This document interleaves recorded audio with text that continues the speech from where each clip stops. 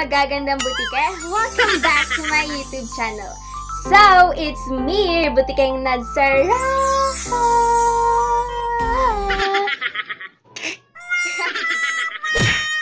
At kung bago ka pa sa aking YouTube channel, ay huwag ka na magalinlangan mag-subscribe. I-click mo na rin yung notification bell para ma-update ka sa ating panibagong video ang gagawin. But wait, happy 700 subscribers! This is my fight song. Take back my life. And for today's video ay tuturuan ko kayo kung paano nga ba talaga mag-braid ng sarili mong buhok and associated with yarn.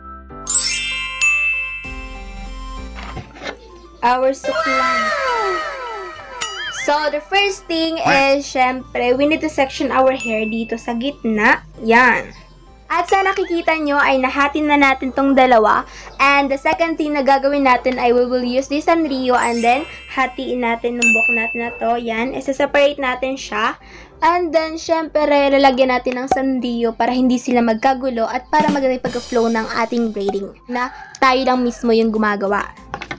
Pagkatapos nan guys, ay hahatiin natin yung buhok natin dito. So, andito ako. And then, yan.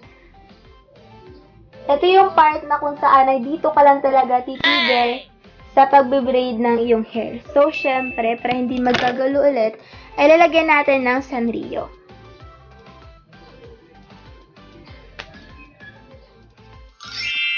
Sinasabi ko nga sa inyo, uh, choice nyo naman kung anong color yung gusto nyo, pero yun sa akin, as usual, kung ano naman yung ginawa ko nung una, yun din pa naman yung ano. Kasi we need to be resourceful, lalo na ngayon, wala tayong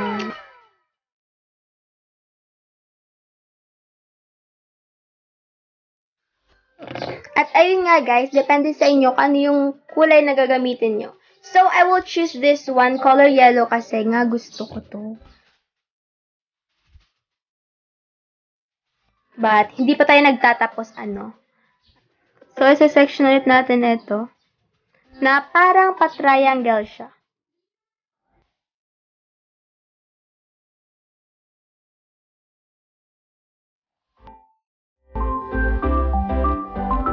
And, gagamit tayo ng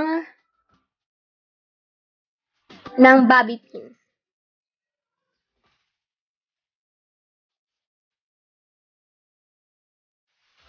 So, ito na yung ating yarn. Ganito siya kahaba. Ito, yung itong buhok ay dito siya naka secure sa yarn which is nasa left. And then, syempre, magpapaiwan tayo ng buhok natin dito sa gitna. Yan, ito. Para siya yung magiging guide sa paggawa natin ng yarn. Ng braiding with yarn. So, ito naman, dito naman siya sa left. Yan. So, nahati na natin, no? Next na gagawin natin ay, ito ay lalagyan natin sa ilalim. Which is, ito naman, yung nasa gitna, siya yung aangat. Pagkatapos nun, yan. Mm. Ito naman, same lang sa ginawa natin nung una. Yan. So, the next thing is, syempre, ganito yung gagawin mo. Yan. Yan na yung part na kung saan ay secure na siya, with, which is nasa root ng ating buhok. So, we're going to dire-diretso na.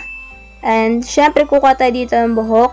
So, itong buhok na sa left na to, i-associate natin dito sa yarn na dito sa left side. Yan. Yan, ganon. Next naman, dito. So, syempre, associate natin siya sa right na yarn. And make sure pala guys na dapat nasa center yung pagkaano. Yan. So, pero it depend naman sa inyo, no? Kung anong gusto nyo. Basta, yun. Next, eto. Etong left, syempre, dito siya sa left yarn. Which is, yung left yarn ay nasa right side. So, yun. Papatong ulit natin. Ganon.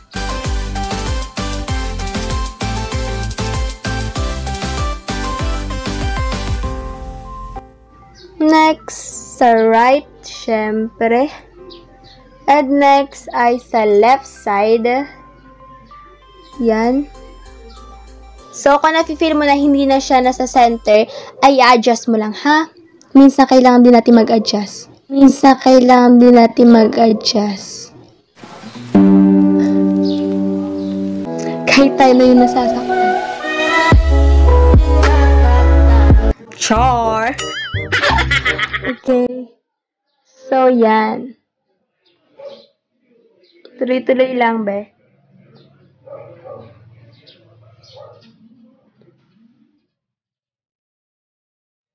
Next thing is, nalagyan na natin ng elastic band. Ay, sorry.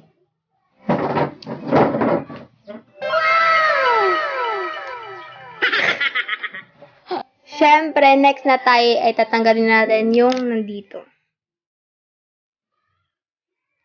Gagamitin ko ay color green. Same na naman siya sa tinuro ko sa inyo nung una. Dito, be, mabali-balilig mo. so, syempre sa right na yarn.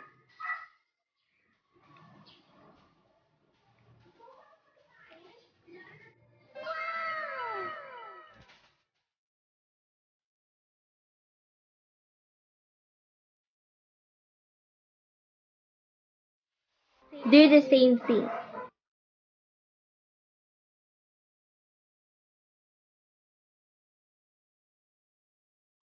Two hundred years later. So, ngayon guys, ay umuulan. Hindi nyo naririnig. Ayun o.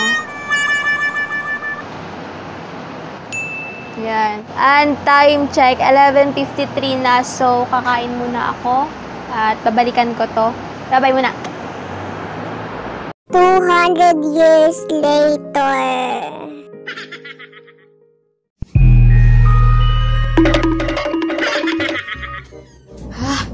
So, ayun, kataka, kaka, katakrata. So, ayun, nakatapos ko lang kumain. So, we are going to use this color, ano, green. Yan.